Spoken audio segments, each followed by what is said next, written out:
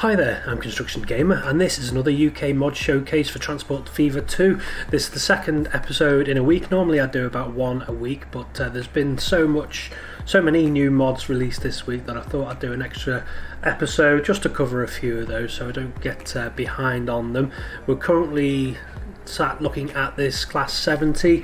This is by Plain Simple, and it's just a great looking mod. I mean, I know the Class 70 isn't possibly the most attractive looking freight train. I know it's not that popular, but I think it's uh, in this Freightliner green yellow. I think it looks it looks good, and the actual model itself is the main point, which looks fantastic. It's quite a complicated model to make with this front end, so uh, yeah, it is looking particularly good. Uh, just four freight trains, and well, any diesel freight trains, I'm gonna put on this new freight route which I've built. I've done a little bit of detail to show off the uh, the mods a little bit better. But any diesel freight trains, I've just put on this uh, this new little freight route, carting some stone to the Conmats factory. Just so, actually, I think um, what I'll do is I'll just speed him along a little bit and when we get when he gets on the return trip he has to go up a little bit of a hill and I'll just be quiet for a minute just so you can hear the the diesel roar of the 70 um, shouldn't take too long. Maybe just oh, just wait for him just to start going up this little bit of a hill where he has to go over and over bridge And it's got some uh, custom sounds I think for that as well.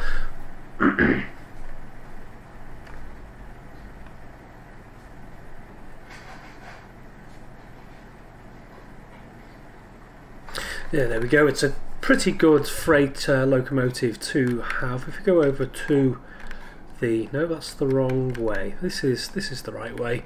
Up here into the depot. Take a look at our diesel locomotives. We can see we've got uh, two different versions here. We've got the original, and then we've got the one with an additional air intake. This apparently retrofitted to stop it to uh, stop them catching on fire after a, a couple of incidents with uh, Class 70s. Uh, yeah, so 75 miles per hour top speed, 370, 3,739 horsepower, 534 kilonewtons of tractive effort. So it is a pretty powerful diesel locomotive. I don't have much to compare it to. I've got the uh, the slug still in my uh, menu, 1,822. So it is a pretty uh, pretty powerful modern diesel locomotive, good for uh, especially freight. Uh, it, I think they were specifically designed for heavy haul freight, like a stone train, like I just showed you. Um, as we're over here in the sort of the freight area that I've built, we do have some more trucks as well. I thought I'd mention these because I mentioned the Scania R480s last time. We have some uh, MAN TGS or MAN TGS 26 480s, and this is transporting the conmats to the actual towns themselves. So we've got some of these on there. So we've got some more road haulage. I know these are more, these are just a European truck, but you would see them again anywhere in the UK.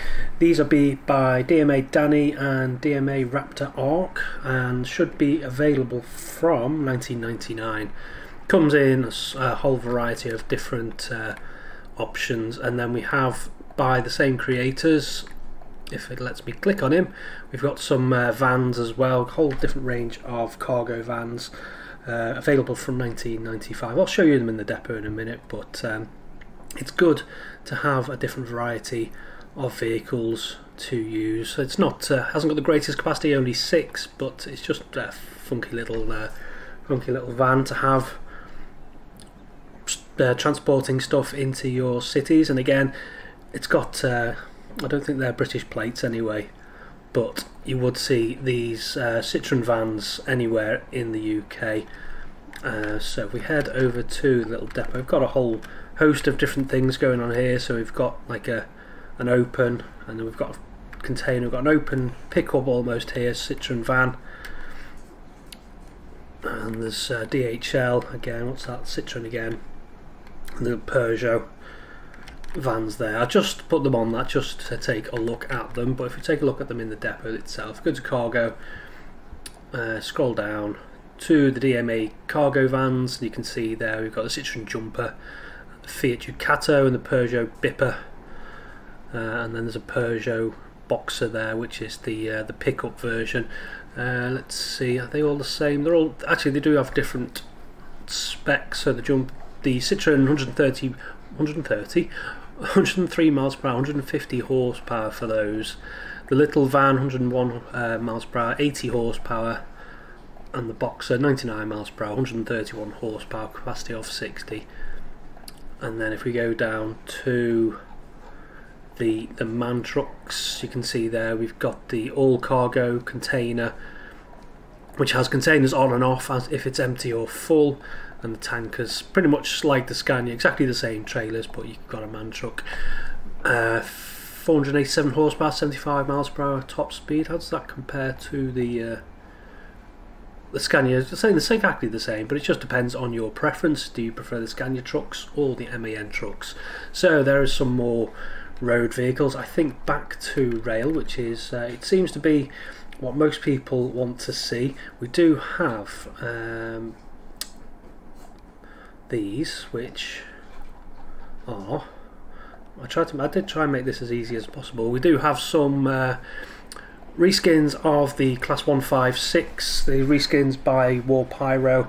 Uh, the, the, the of the original model by CW315. So this is the East Midlands Railway regional. So this is kind of in between East Midlands train by uh, Stagecoach and the East Midlands Railway. So it's still in the Stagecoach colours, but it's obviously EMR, which is East Midlands Railway. On the back of that, there is the new Northern by Arriva. Well, it's not not by Arriva anymore, is it? But uh, yeah, this is the newer new, newer livery for the Arriva colours, and we do have the um, older Northern ones as well somewhere.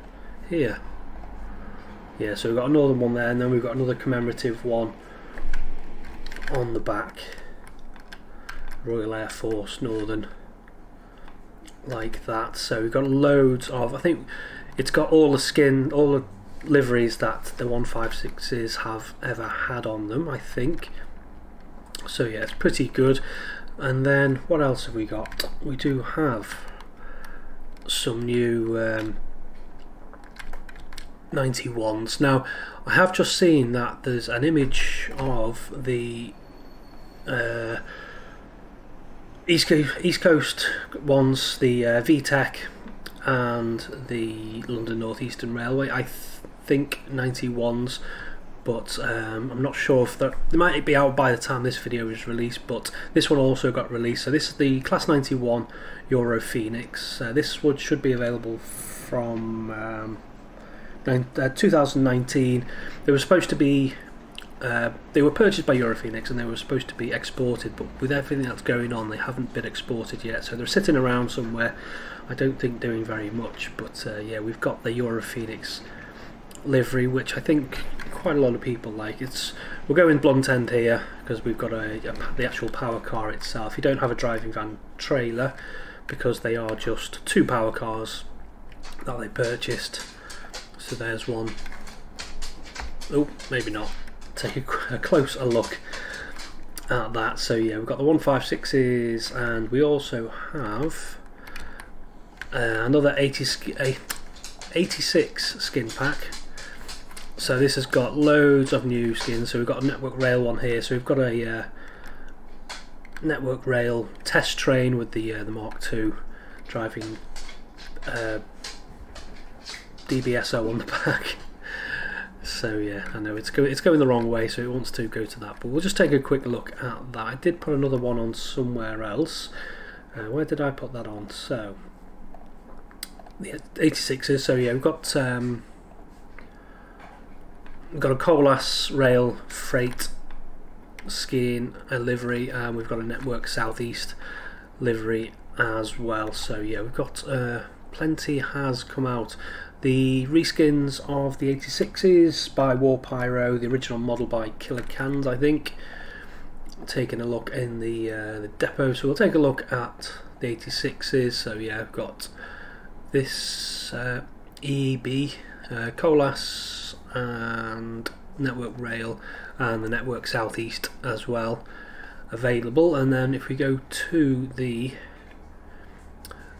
the 91s, and you can see down there we've got the Euro Phoenix, exactly the same stats as the rest of them, I think. Yeah, no, nothing different, but it's in the Euro Phoenix livery. And then if we go down to the diesel multiple units, you can see we've got loads of new liveries for those. We've got the new Northern, two different um, types of the older Northern livery, um, and a Abellio Great Anglia, and I think it might have had the National Express did it prior to that but yeah we've got uh, got some new models for those anyway so yeah it is it's been a, a packed week this week I think with new uh, new trains coming out modders really have been busy especially War Pyro he's just done so many new skins for new liveries for trains uh, he's been very busy indeed. It's all good, it all adds to the mix of vehicles that we can use within the game itself, especially if you obviously working on a, uh,